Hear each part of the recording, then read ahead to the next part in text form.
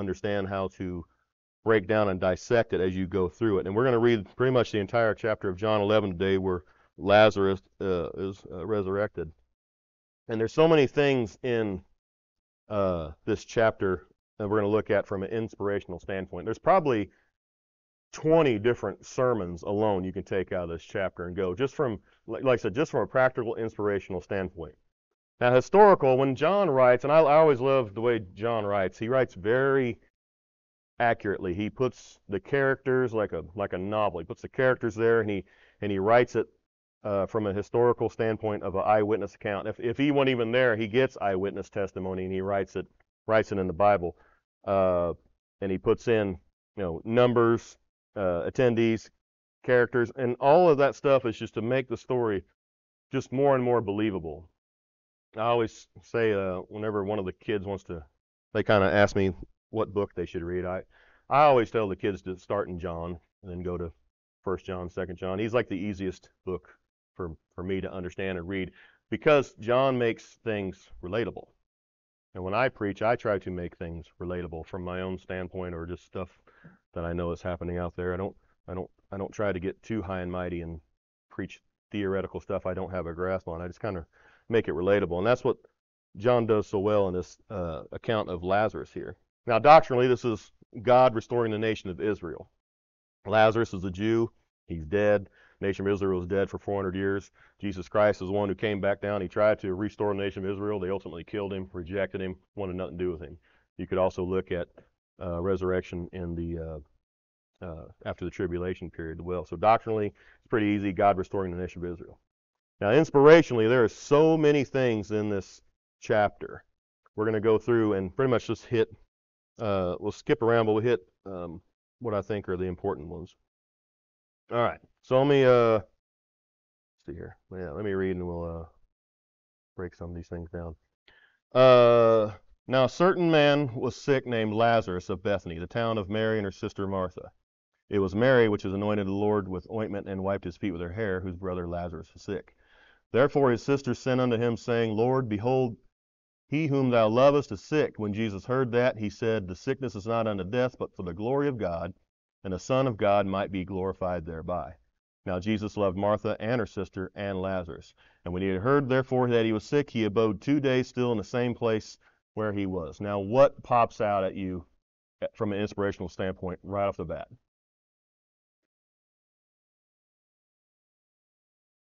Yeah, that's one.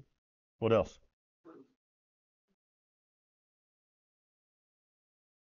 That too. There's also one that sticks out to me in verse 6 there. He knew that the man who he loved, one of his friends, he loved this family. Whenever he came into Bethany, this is where he stayed. These were followers, these were disciples, these were people who loved Christ. And look what happens. His best friend is sick. He stayed where he was for two days. He didn't come a running, did he? Now, why is that? I've heard this message preached a few times where you get yourself into sin, God's not so, not so quick to get you out of sin.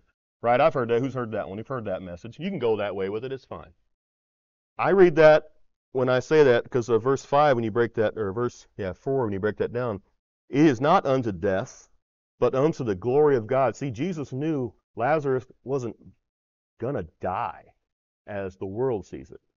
Jesus knew Lazarus was going to just go to sleep. He knew where he was. He knew what was going to happen to him. That's why he didn't freak out.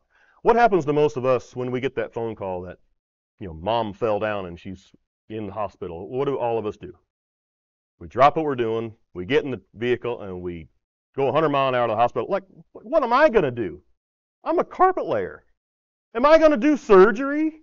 Am I going to mend her broken bone? There's nothing I can do, but I am a Christian. You know what I should do? What would help at the most part? If you guys all know, say it. Pray right away. Right? But we don't do that in this worldly standpoint. Even as Christians, what do we do? We freak out. We freak out. And it's understandable. It's human nature. We all freak out. I've been through a lot of tragedy in my life, and it just every single time I freak out and I realize what I'm here for. You know, but it's just natural. But look how Jesus handles this thing. He said he heard he was sick, and he abode two days still. This is a guy he loved. Best friends. Now we'll break this down. Um, I'll do it here. Uh, and I, I think it's uh, important to note too, whenever you're breaking down the Bible, get the cast of characters. I do this back with the kids all the time. Get the cast and set it out. Now, I might spell this wrong. I'm a terrible speller here. Uh, Lazarus. Kids make fun of me all the time. Okay. So anytime you see sickness in the Bible, uh, whether it be what's that stuff that grows on your arm? What's that stuff called? Leprosy. Yeah, leprosy, blindness, uh, deafness. Anytime you see God dealing with that, it's always usually a picture of sin. And the Jews believe, especially from back in uh, Exodus and Moses, they set up whenever somebody had those things, had leprosy or something, is because they had sin unconfessed or un, uncleansed at the temple, right? That's how we identify sickness in the Bible. We always kind of pair it to unconfessed sin or something like that. That's the way the Bible kind of, you see it whenever you're breaking down the Bible and you're understanding how to you know, work through what's being talked about. But God chooses Lazarus in this moment, and we know that Lazarus is a friend of Christ. He's a disciple, he's a follower. Uh, he loved him. So Lazarus was not only a Jew, but he was a good man. Okay, he wasn't an unsaved, unwashed sinner like the, what what happened if you have a sickness another way. So it's it's important to know that they use Lazarus here in this story for a reason. It wasn't just because he was sick. He was just a guy who was sick, like one of us who gets sick, right? Martha, we know her. Uh, she's a busybody. And Mary, I think we had her down. She has the she has this deep spiritual, yeah, deep spiritual relationship. This is one I might. That's a sphere. Deep spiritual relationship with God. So we have the cast of characters, and obviously we have uh, Jesus in there, who is the physician. He's the doctor that comes on scene, right? Now, like I said before, John is very specific in how he writes things, how he sets stuff up for a reason. Uh, and he always documenting on how Christ kind of goes about what he does. He does it for himself on his own time, right? When when uh, when Jesus' first miracle was turning the water to wine, the wedding at Cana, nobody was allowed to see that. He kicked them all out, and he did it on his own. You know, the disciples were kind of upset about that. They wanted people to see what he'd done. John the Baptist downright got angry. He wanted Jesus to profess that he was God and do crazy cool. He wanted him, you know, pull the moon down and set it right here, do something in, pur- uh, purposefully, you know, let him know you're God right now. He was getting kind of upset about it. Uh, when Jesus went through Samaria, you know, to you know, he met the woman at the well. All the disciples said, "You got to go around. We can't go through Samaria." And we find out that ain't because they don't want to go through Samaria. That the the Jews hated Samaritans. They thought they were less than dogs. So much so that James and John wanted to, Jesus to call fire from heaven and kill the Samaritans, and, John, and Jesus kind of shut that down real quick. Uh, flip over to John 7 6. John 7 6. And this one is so true. Um, if you just pull this verse out, I know what it's talking about, but if you pull this verse out just by itself, inspirationally speaking, that's what we're doing tonight. It says, Jesus saith unto him, My time is not yet come, but your time is always ready. It, and isn't that just so true how we kind of treat Jesus? We are always ready for an answer. We're always ready for a prayer. We're always hungry for more. But Jesus kind of works on a wholly different uh, time clock, and we just can't handle it. I'm probably one of the worst ones in here. I'm glad I stay busy in this church because I am extremely impatient with everything. I'm a very impatient person. Ask my family to go to a restaurant. I they better have their order by the time that waiter comes up. If they don't, I'm like, what are you getting? What are you getting? What are you getting? I don't want to wait again. You know what they do? They go back in the back on their cell phone and they fart around. You know, they make you a can of water, and then 20 minutes later they'll get you a drink. You're like, oh, oh, good. I hate going on dinners with more than like eight people. I can do it, I just, I'm no good at it. After about 20 minutes, I start kind of freaking out a bit because I'm a fast eater too, because I'm impatient with that, as you can tell. So I'm very, very super impatient. But Jesus says, You guys are always ready. His disciples were always ready. My time has not yet come. You are always ready. You want me to do these things that are not what I'm needing to do right now at this moment. But keep that in mind as well. See, these are all inspirational things. You can go on and on with that one verse. That could be a 40 minute sermon easily. All right. What's up, dude? Oh yeah, good one. They're all good ones. So, uh, verse seven, we'll pick up. John 11, bud. John 11, 7, it says this. So remember, Jesus, Jesus didn't freak out. He stayed there. He just stayed there for a couple days while his friend was dying. Then after he said to his disciples, Let us go into Judea again. His disciples saying, Master, the Jews of late sought to stone thee, and goest thou thither again? You see, even though the Jews, uh, even though the disciples, sorry, even though the disciples loved uh, Lazarus, they, they were kind of thinking about themselves. They didn't want to deal with their friend at this moment because they're worried about the Jews stoning them and killing them. Jesus answered, he gets a little sarcastic here with them. Jesus answered, Are there not twelve hours in a day? If any man walk in the day, he stumbles not because he seeth the light of the world. If any man stu- uh, walk in the night, he stumbles because there is no light in him. Now, those two verses right there are packed with a lot of stuff.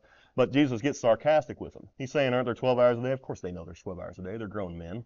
You know, they're young guys. They understand there's 12 hours in a day. He's kind of letting them know, like, we got plenty of time, boys. We got plenty of time. Why? Because Jesus knows what Lazarus is. He knows where he's going to go. He's not freaking out. Verse 11. These things he said, and after that he said to them, Our friend Lazarus sleepeth, but I go that I may awake him out of the sleep. See, it says our friend. He's not just he's not just a person to these guys. He's our friend. They all love Lazarus. Like I said, anytime they come into this town, Bethany, this is where they stay. Mary and, uh, Mary and Martha have hosted them before for dinners and stuff like that. And uh, this this is the family they all knew. And he says, Lazarus, Lazarus sleepeth, that I may go wake him out of sleep. And his disciples say, Lord, if he sleep, um, they shall do he shall be do well. They just don't they don't understand what he's saying. They can't get it. Howbeit Jesus spoke of the death, but they thought that he had spoken of uh, taking uh, rest and sleep. Then this is a funny one actually. I think this is funny. Jesus said unto them plainly, Lazarus is dead. Like, listen, idiots. You guys, he he dead. He dead. I'm trying to do some high end stuff here, kind of this. I'm high, I'm I'm playing 3D chess, and you guys are just too stupid. I'm third. It's like, golly, these guys. I should have went and got some lawyers or some bankers or something. I got a bunch of dumb fishermen and construction workers, and they just can't get it. He's dead. That's what he's saying. Like he's just freaking out a little bit. Like, come on, knuckleheads. Anybody have those guys at work before? Like, yeah, okay. All right, I have to come down and show you how to do this. Uh, look at verse 11 though. It's not only that um, this is our friend. He makes it personal. See, he takes this guy Lazarus, he's making it personal to them and making it personal to him. Our friend. And he said, But I go that I may awake him out of sleep. See, Jesus is the only cure. He knows it. For a Christian, death has no sting. Why? Because Jesus is the cure already. He already paid the price. We don't have a sting. Yeah, sure, we're all going to uh, die someday, but there is no sting. Go to Ecclesiastes 9. I didn't have this written down, but I was looking at it.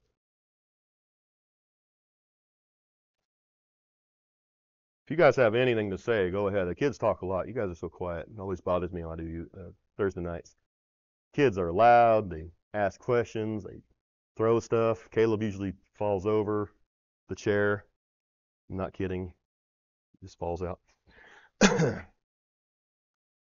Ecclesiastes 9, and I was reading this actually uh, um, a couple days ago. I've, like I said, I had to do a funeral. I was kind of looking through stuff. I didn't use this because it's kind of morbid, but um, verse 2, 9 2.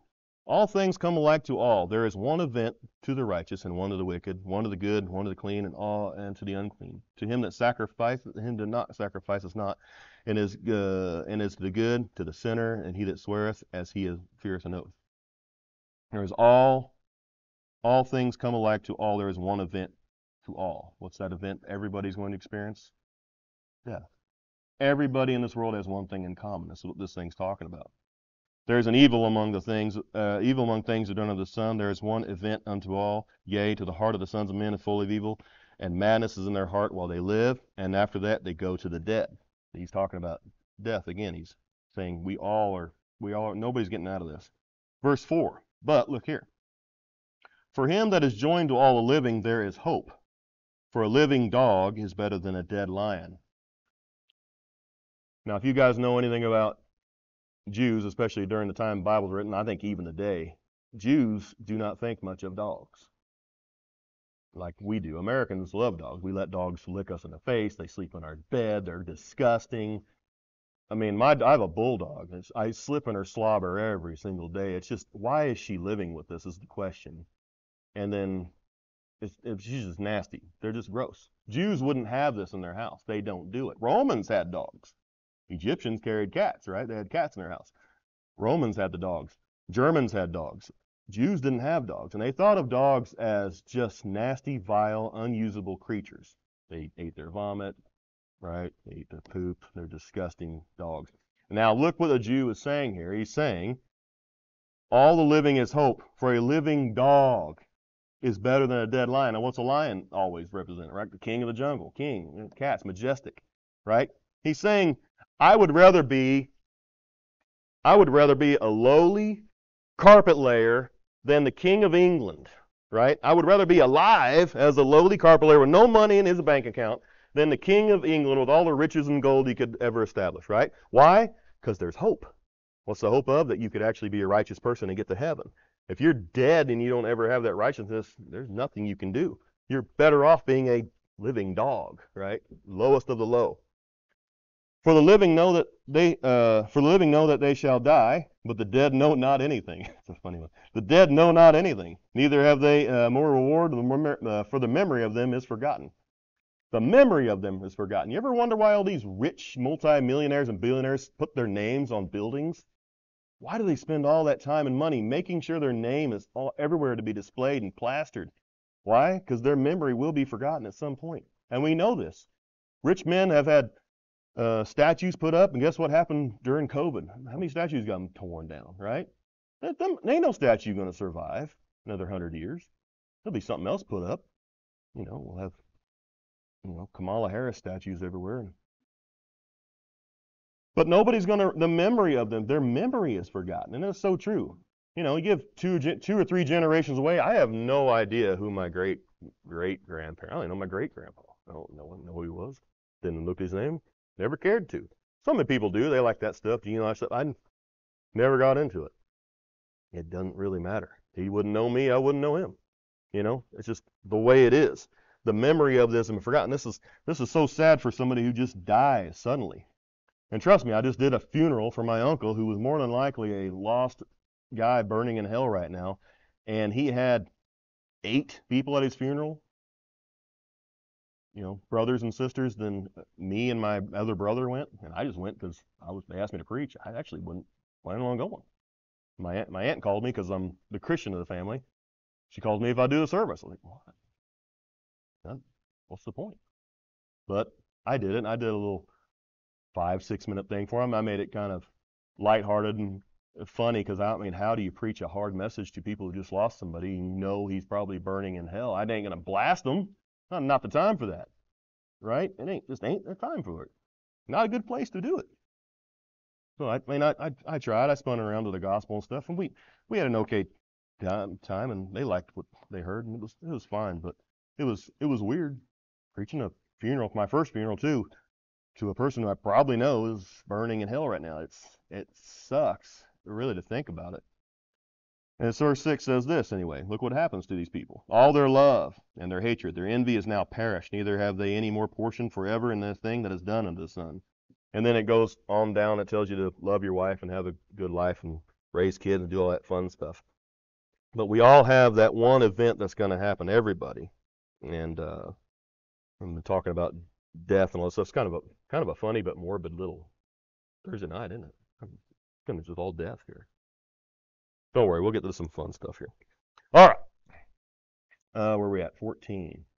Uh, 15. Now, Jesus says again, He said, I am glad for your sakes I was not there to the intent you may believe. Nevertheless, let's go unto him. Now, look at this tough guy here. That's what I have now. Now, you could read this verse, and I've heard several messages on this verse right here, verse 16, that go different ways. This is this is what it means to break down your Bible inspirationally. You can go different ways, and it's really not a big deal. When you start preaching doctrine, you better be on point or, you know, I got to get up and walk out. But inspirationally speaking, you can preach this message or this verse three or four different ways. This is how I read it. Then Thomas, which is called Didymus, unto his fellow disciples, said, Let us also go, that may we may die with him. Now, I read I read a guy the other day, a commentary, and he says, Look how courageous Thomas is. He's willing to die alongside his buddy. I was like, Good grief. I don't read it like that. I just don't. First of all, we know who Thomas is. Thomas is the doubting guy who says point blank he has to touch Jesus and his holes in his hands if he's going to believe, by God, this guy came back to life, even though he told you multiple times this is what he was going to do. But Thomas gets all high and mighty and pious, right? Let us go with him that we may die with him. Have you ever been in a hospital situation and you got that one person in your family you just wish would shut up? Just shut your mouth. You're not helping the situation. Anybody? We've all been there, right? Especially when you become the Christian. So I didn't become a Christian until I was 33. So when I go in a situation now, they all kind of look to me to be like the leader now. It really is weird. It's kind of it's weird how the family kind of does all that stuff. But um, but you always get that guy, that one who know he knows more than the doctor does. By God, it must be this. I guarantee it ain't that. Like, oh, shut up. This is Thomas right here. This is Thomas. He's he's taking the death of Lazarus and putting it. Oh, let's go. I will die with my friend. Like, come on, dude. Come on, Thomas. We know who you are. We know you. You know, my okay, that's another death story. My grandpa died suddenly of a heart attack in front of us. We were all having like a Sunday dinner. He literally just head down. I was the one who had to pick him up by the chair and we tried to do CPR, but uh, his heart just blew up. My brother. I mean, my grandma was in the room, my mom was in the room, my wife was in the room. Cole was three months old at the time. This was right at 18 years ago, and uh, uh, you know, we're doing it. I mean, I know he, I know it's bad. I know, like, we're trying to do CPR on him, but you know, it's pretty obvious he died right, right there. So we go outside, and the ambulance comes up, and they get the gurney and stuff. And here comes my brother, who's still lost to this day. I mean, this dude's he is total atheist. Like, yeah, he's not even agnostic. I mean, he hates all any of this stuff. I'm working on it. He's getting there. But uh, he comes bebopping up, and he does a line from City Slickers. That movie City Slickers? Have you seen that? When when the main guy Curly dies, one of the guys comes up and goes, "Man, the guy ate bacon for 40 years. You, you can't do that." It was a joke. My brother comes up in the midst of all this crying and wailing and gnashing of teeth. Right? Man, he ate bacon for 40 years. Just can't do that. I look at him like this. I'm like, your grandfather just died. He goes, oh, you know, sank. Realize how a jerk he was. That you don't make certain moments about you at this time. There's no time to crack a joke. Good grief, the family is the patriarch literally is dying. Once once my papa died, family broke up. He's that that was it. You ever been from the families who just don't get back together after the main person dies? That was him. Once he died, that was it. I've never really saw my aunts and uncles after that. Maybe a couple times every once in a while. Wasn't the same. Our family was done after he died. So, and it sucks for me that I have to remember that. That's what I remember. My brother being a jerk at that moment. We don't need Thomases out there.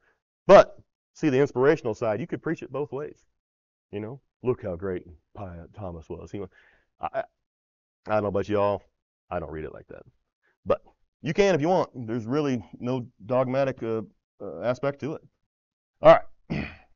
then when Jesus came, he found he had lain in the grave four days already. So he finally got there. Did, this dude done died and been dead for four days, buried in a grave. So yeah, Jesus really took his time. Now Bethany was nigh unto Jerusalem about 15 furlongs, and many of the Jews came to Martha and Mary to comfort them concerning their brother. Then Martha, as soon as she heard Jesus was coming, went and met him, but Mary sat still in the house. Now look at these two girls. We know them from the other story, right? We know that Mary, Martha was the busybody. When Jesus came in, she cooked, she cleaned.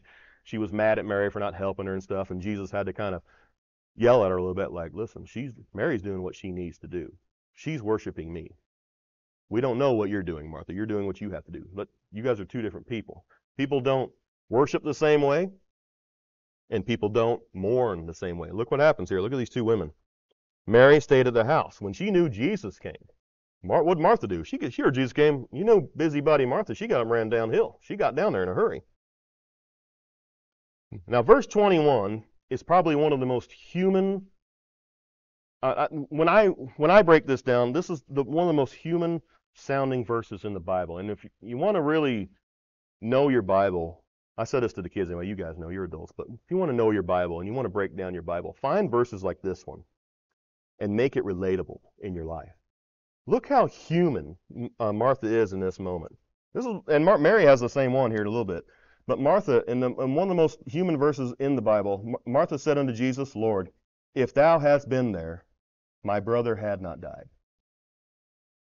I'm sure as Christians, we've all been in this situation, right?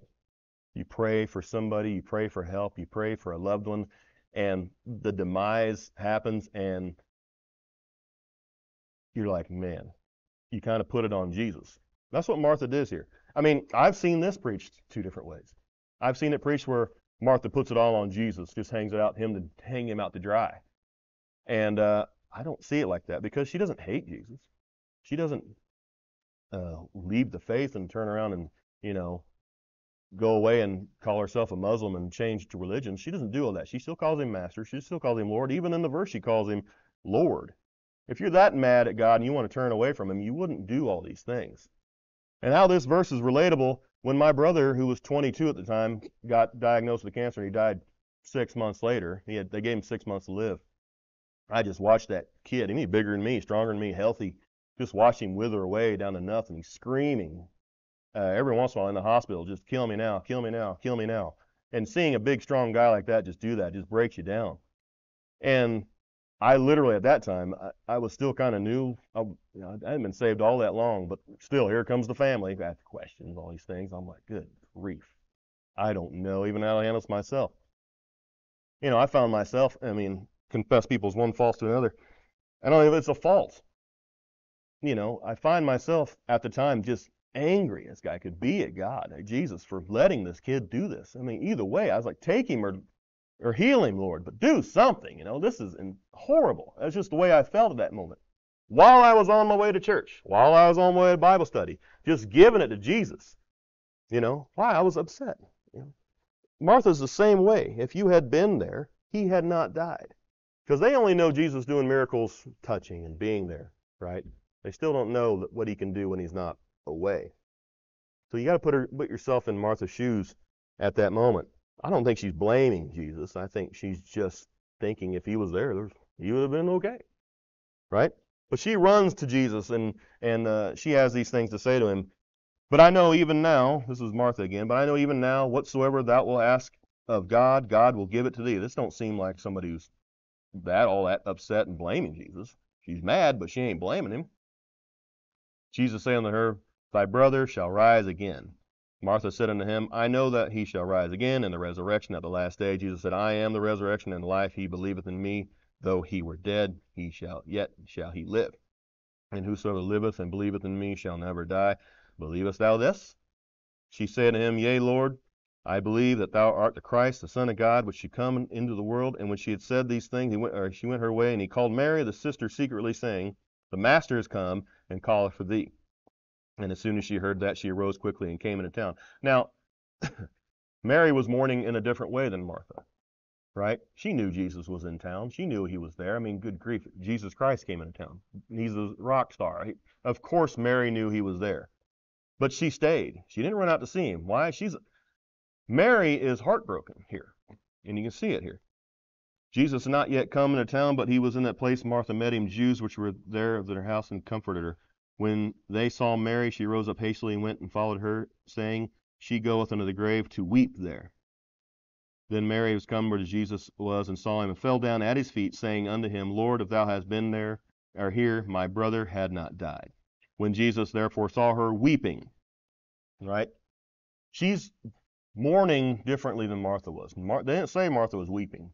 Martha was confronting Jesus and telling him, if you had been here, all these things would be good.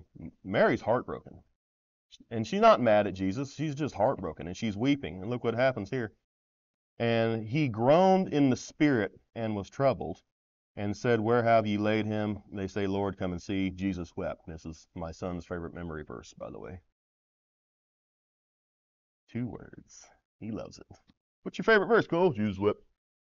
Oh, he's got a long one. I can't remember it.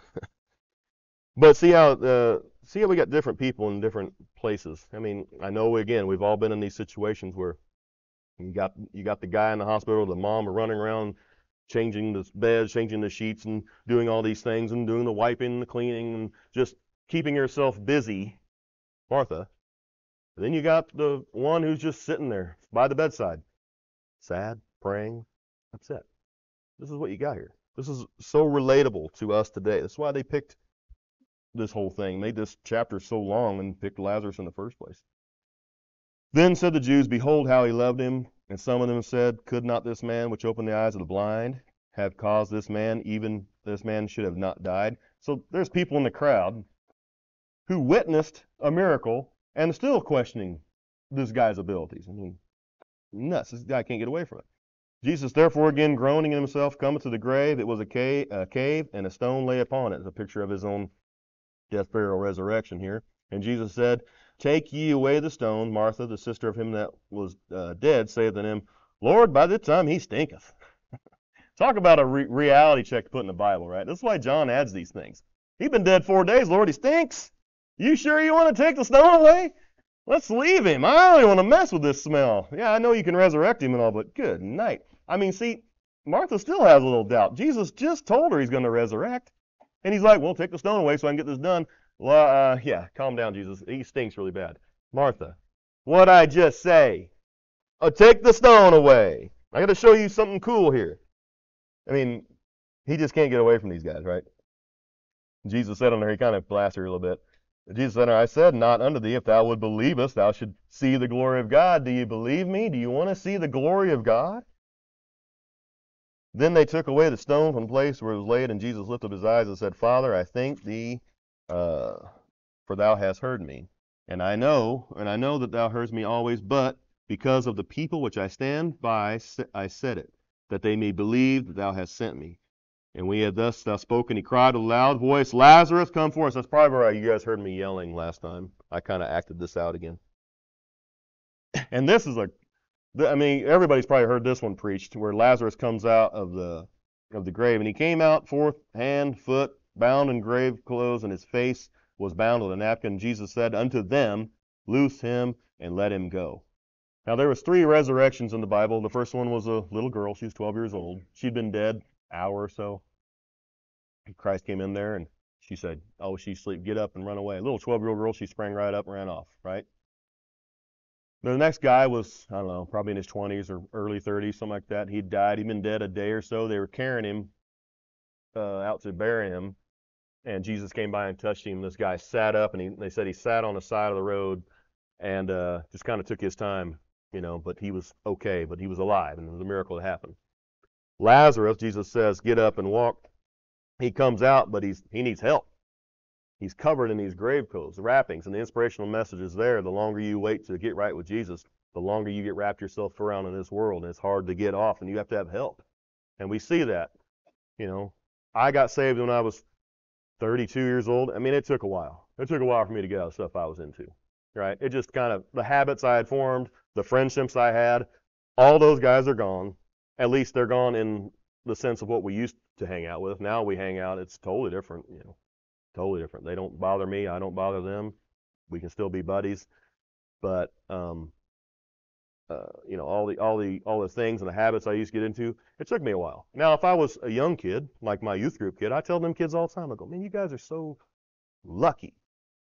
You got saved when you're a young kid. I mean, good grief. You get you get in a good church with good parents who love you and want to see you grow up in a in a certain way in a Christian household, and you know you're the apple of their eye and stuff like that. Um, they're they're they're lucky, and I I am lucky too. I'm lucky I didn't die in a ditch somewhere in the age of 20, and I'd be burning in hell with my uncle right now. You know, I just I lucked out, but they also, I mean, they hit the jackpot with with you parents in this church, just uh, just seeing seeing to their salvation and seeing to their growth. Verse 45, and many of the Jews which came to Mary and had seen these things which Jesus did believed on him. And look what happens all the way down. You get the same old scribes and the Pharisees who just witnessed a guy who's been dead. I mean, he probably stinks really bad still. I mean, he's going to take, what, 10 baths? How many times you dip in the Jordan River to clean that off? I don't even know. But um, I mean, this it's amazing that Jesus still had to do these things. And in verse 12, that's when he kind of stops talking to these people over, over and over, but or chapter 12 anyway. But What time we got? We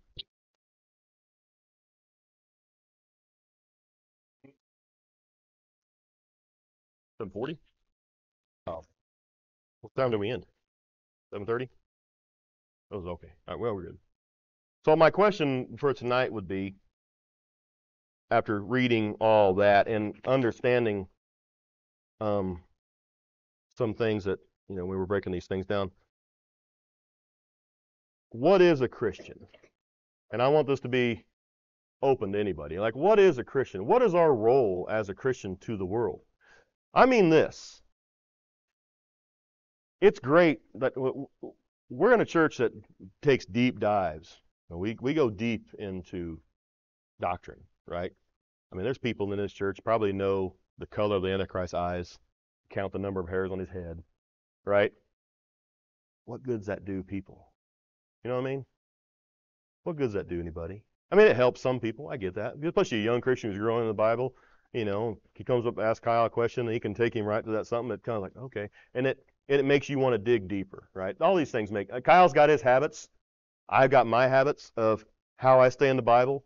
Kyle likes numerology. I'm not quite so much a numerology guy. I like numbers. I I don't get super deep in them. He gets super deep in them. We we know this. Kyle okay. Kyle gets super deep. Nothing wrong with it. That's how Kyle grows, and that's what keeps him in the Bible. God bless him for it, right?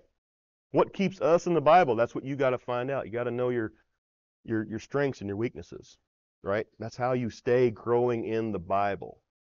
I personally like finding relatable items in the Bible that can relate to people because I'm more, kind of an introvert. You know, I'm not really good in crowds and stuff like that. But you give me one on one, I'm okay. Can hold my own, I guess. But I mean, what is a Christian though? Ultimately, it's just it's a theological question, right? From my own standpoint, a Christian is somebody not only worships and loves Jesus. We all know these things, the superficial stuff, right? But somebody who can stand bedside when somebody is having the worst day of their life or traumatic day of their life, and you can stand firm as a rock for that person, and they know it. Maybe you don't have to be best friends, but they know you call them up. I haven't talked to my aunt Donna in Ellie, when's eight years now. Eight years. Her brother dies, and she calls me out of blue. Hey Ryan, can you do the service? Oh, I get, yeah, I guess. Why? I guess there's no other men in her life, and she goes to a church. She goes to a church in Harrisonville. Mm, I have no idea. Any thoughts though? What is a what is a Christian in y'all's eyes?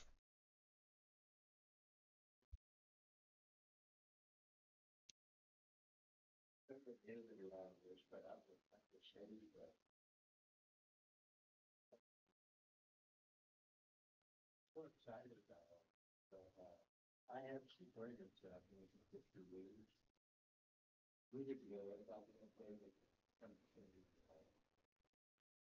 Oh yeah, I get it.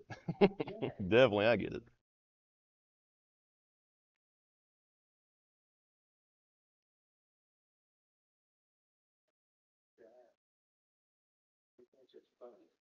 Yeah, I remember we said that. hmm You got to make it fun. Or if not, it'll, it'll be real sad. For like ten, for uh, probably not ten years, maybe six years, my stepdad uh, bought me a case of beer every time we had a family get together, just to see if I drink it. You know, what I mean, because he knows number one, that was my weakness. I had to find out what everybody's got to find out what what separates you from God. What is the one thing that separates? That's what sin is, a separation from God. What is your one thing that keeps you separate from God? Mine was partying and drinking. I slowed down when the kids were around, but when I got back with my buddies, you know, every you know month or weekend, it was a bender. You know, it was bad. It was stupid right? I had I have to stay away from that stuff. I have to. I know it. It's just something that I can't do. There's certain guys I can't talk to. I can't talk to them for very long. That's for sure. If they do call me up, hey man, text me next time. You know, it's just certain things.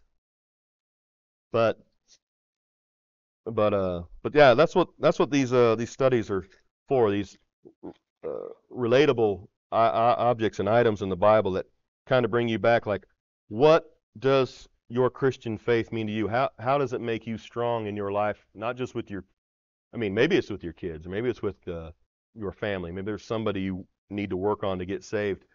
But that's what it is to be a Christian, I think, not just being all knowledgeable. I mean, there's so many people out here who know the Bible, but they don't want to teach it.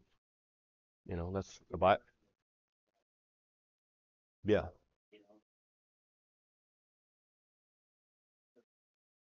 Yeah, those situations, that's for sure. You're there to be a light, right? You you you got to be the light bulb in the room at some point because I mean, there a lot of people's brains go straight to darkness. They just can't help it. You know, Christians too. They just can't help it. They think they think automatically worst things are like, hey, yeah, Israel got bombed and tribulation could be around the corner, but hey, that's a good thing, isn't it? Like, that's okay. Don't worry about it so much. I mean, we spend all this time on the Antichrist and all these things, and we're not even going to see the guy. We, we'll see the false prophet. We ain't going to know the Antichrist is. Not for sure. We'll have our guesses. We ain't going to know. We won't be here. Just ain't going to happen. Whoever we think it is, we'll probably see the false prophet and the Antichrist and be like, okay, yeah, that's. But at that, we won't know. Could be anybody. I mean, my dad still thinks it's Barack Obama. My dad still thinks Michelle Obama's a man. 100%. I am not kidding. He believes you, that woman is a man. Exactly. There's all kinds of conspiracy theories out there, and that's one of them. Boy, that's one he latched onto. I'm like, Dad, okay. Yeah, conspiracy facts. that too. You know, you don't want to you don't want to cause yourself to be a stumbling block for a young Christian if you come in there with some things that they're just your opinions. Honestly, there, a lot of things we're in opinions, and we put them down as Bible fact. Eh, I think Kyle does a good job of discerning both when he's up here preaching or doing Thursday nights, like you know the astrology stuff. He was quick to say, look, look, some of the stuff is just what I piece together, and it's not dogmatic, it's not pure doctrine, but it's cool, and that's what keeps him in the Bibles. He's sharing his what he what he likes. He's sharing with us. Not okay. I like it. It's fine. I got no problem with it. I like it. But I think he's quick to say like this is I can't prove it. You know, I can't tell you that the trip the rapture is going to happen in two months. If he did, we'd all have to call him out on it, as good Christians do. You can't. You can get close, I'm sure, but you can't. You can't time it. Not going to happen. Well, if y'all ain't going to talk, I guess we'll close it down. What you got, young man? Nothing. He's like, uh, don't pick on me. Picking on you because you're the only young guy. All right, Jonathan. Oh, you can't pray. Pray is out. He can't talk. Yeah, go ahead, pray. Yeah.